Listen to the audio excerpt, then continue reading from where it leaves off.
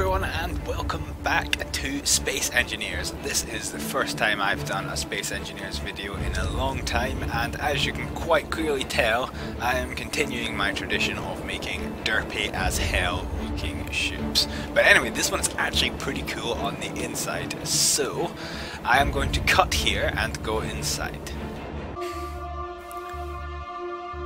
Right, so we are inside. Now, normally I start my tours from the airlock, but I have an interesting airlock design in this one, so I'm going to start where every crew member's day will start, which is the um, the crew quarters. I am lying in bed, and did you know that when you fall asleep, your head apparently sees exist? Anyway, moving on. So I'll get out of bed. Right. So this is the quarters. Um, we are equipped with four beds in this ship, which means in three shifts we can have a maximum crew capacity of 12 people. Um, this is supposed to be a very small ship. So anyway, uh, we're looking at the windows here, and of course, if it is too light for you, uh, you can. Which one is it? This one? Yes have shutters to come and close the blinds. Now if I had more room I would have added another light switch that would switch off this light, uh, but anyway this will have to do. So we have the shutters to do that and we can go in here and this is the John and we have our shower. Great. Um, again I kind of ran out of room a bit here so th this kind of I, I make pretending that that kind of functions as a facility for washing your hands. So, um, we go through here, and apparently there's no air in here. That's curious. Anyway, um, so this is the mess and recreation area. Um, as you can see, we have our wonderfully equipped kitchen, uh, where we have fridges, ovens, sinks, and vending machines for when you're too lazy to cook. Um, and we have dining and entertainment. So this isn't a particularly big ship, so it doesn't have like massive cinema cinemaplexes or anything, but it'll do. So uh, let us do that. Um, okay. So this is my first time trying one of this. Uh, what you are seeing, what this is, uh, this is the Sektan interior corridors, which I freaking love. So anyway, uh, it's time for an elevator ride. I, yes, I have the elevator, so we'll close that over and we will go up. There's only two floors in this ship. And this takes us to the bridge deck. So, we open up and we can quite clearly see the bridge.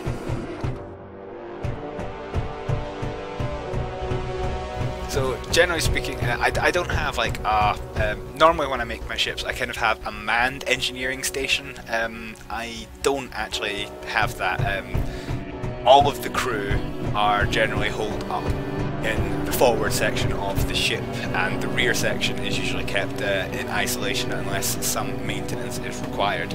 So what we've got here, pilot station, co-pilot station, three auxiliary stations should they be needed, and this is uh, the main engineering station where we can control all the facilities on the ship, and I'll show you the various facilities later. Um, this is the captain's ready room, where we have uh, sit on this, yeah. So we can look out onto the bridge and we can look out into space. Perfect for any captain. So, what do I want to show you now? Uh, let's go. We will show you the interior maintenance. We'll use the lift to go back down to deck 2 and we are now going to go in here.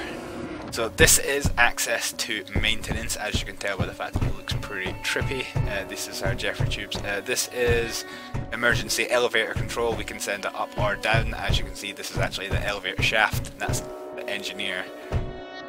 That, that, that's the elevator right next to us. So I can fire that up, as we can see. So anyway, let's disregard that. Um, Oh, I've got lost in my own ship. Um, what we need to do... Uh, there isn't actually the ability to climb ladders in this game. So we will up here. And this is... This is the ship's cargo facilities. Um,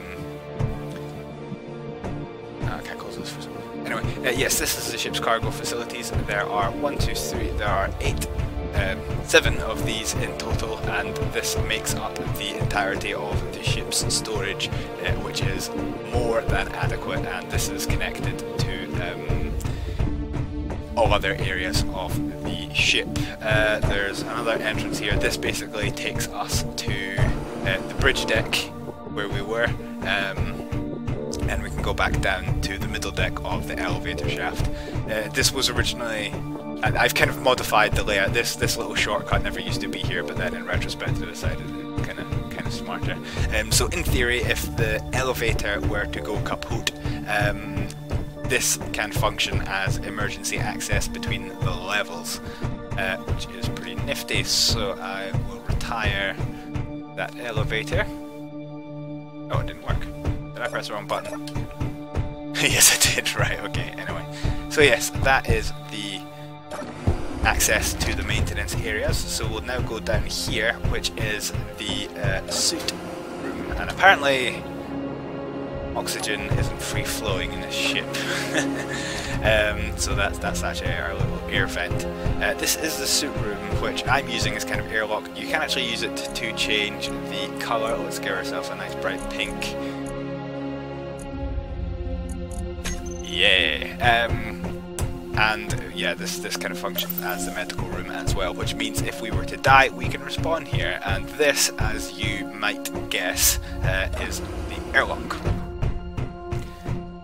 Now, here's where my design gets interesting. So you can see if I crouch down, we're looking out now at the ship. Now, if I open the outer airlock door, we can see quite clearly that this is not in fact an airlock this just takes me back to the other end of the ship. However, if I do this, we open up, and now this is where this is the main way in and out of the ship. So this little nifty corridor it has dual use.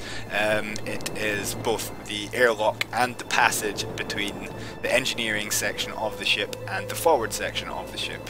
And um, what we have here, the reason why it's in the middle is um, one, so you can get in and out, and two, um, this is actually the docking ports. We have two docking ports which can be extended um, so that the ships can dock well clear of the um, main framework of the uh, the spaceship. Uh, and even though they have to fly, so there's no walkways or anything, um, you we can. It, it's only a short little flight to get to the um, get back into the ship. So we're going to fire out... Oops, press it twice. So we're going to fire out the walkway, sprint down this. It is a very long corridor. So long, in fact, that my frame rate's collapsed. And we are now in the engineering side of sh the ship, so you can quite clearly see a change of tone already. That all the lights and pipes everywhere, that this is not somewhere that's supposed to be uh, inhabited continuously. So we go through here, we can see the reactor at the end. This is the reactor room. Um, and we have our gyroscopes.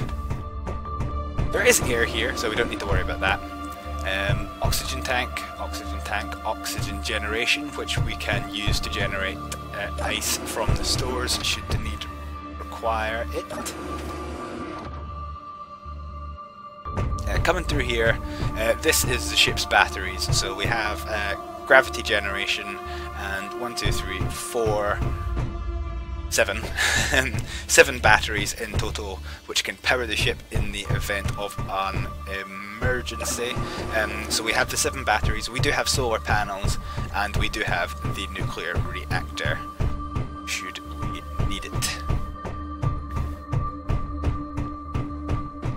So yes, uh, we've seen the airlock, we've seen the... Um...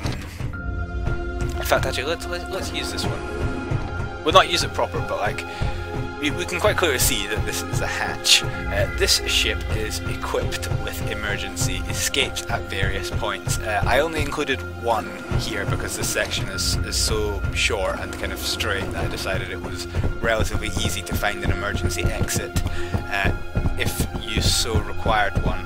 Uh, however, there is two on the bridge deck. This is the emergency exit from uh, the suit room and there's uh, there's an emergency escape in the bridge. There's an emergency escape in the cargo room. Uh, this here is an emergency escape, and finally we have another emergency escape here in the crew quarters, so we can get out of here in a hurry. So, speaking of getting out of here in a hurry, let's get my suit on, and the button is on the roof here, so we just press this. There's going to be a loud whoosh. Okay, apparently not, and we can literally just walk out and we've ejected from the ship. So the gravity generator, uh, once we're out of, clear of the gravity generator, uh, the um, jetpack kicks on, and we can see that by one button press, it, it's emergency escape for the entire ship. So one button press will open up all of the emergency exits which we can see here, this is the one that we came from. Um, this is the one inside the corridor. If I flip around to the other side, I can't be going back the other way. I assume you trust me that that one's open. Uh, you can see that the bridge escape. That's the bridge, and the main cor uh, sorry, the maintenance uh, corridor escape. They're all open. Now, if I press the button again, it doesn't close. This is purely for emergency use only. If you do happen to have royally screwed the pooch and press the emergency button when you didn't mean to, you will need to use the emergency ship entry, which is located at the back of the ship. These are the Anubis thrusters. Um, so this is... Uh, said I wasn't going to go back here, but uh, I kind of forget I needed to. So this is main engineering, as we saw, and I can't remember what these do. So I'll do uh, that's open. Yes, okay. So this opens the airlock if we need it. This opens all the emergency escapes, and this closes them. So this is your way of really resetting the ship, and uh, yeah, I mean, what I also could have done here, I could have added a um, shutter here with another hidden button somewhere so you've got a thing. I might do that in the future. But um, yes, this is how to get... It's kind of your, uh, your locking mechanism for the ship. So now I can get back in by clicking there and doing that. Oops, no, press it twice again. And now the ship is all secure. So yes, uh, that is a tour of my little ship, uh, the first one I have made in quite a long time, and as per usual I have used a lot of mods for it. Um, I use the Sektan mod, I use all of Sektan's mod, I, I actually really like his stuff. Um, I use... Um, I can, I can never pronounce it. Oh. I, I, can't pronounce it. Uh, there's another guy's work, I basically use all of his stuff, and then I have a mishmash of other things, such as the command console packs, and so on and so forth. But yes, uh, this is a tour of my, the first ship I have managed to made, make in Space Engineers in quite a while. Um, I'm not all that proud of the exterior. I have a bad habit of making like seriously derpy ships, but uh, the interior, uh, I, I really quite like the look of it with these uh, these corridor packs and like, the ventilation things. You can make nice Jefferies tubes to get you around if the need requires them. Um, yeah, so I'm quite happy with this. So anyway, that's my little tour of my latest ship in Space Engineers. So, thank you very much for watching this, and hopefully I'll get around to making some more of these soon. Thanks for watching, bye!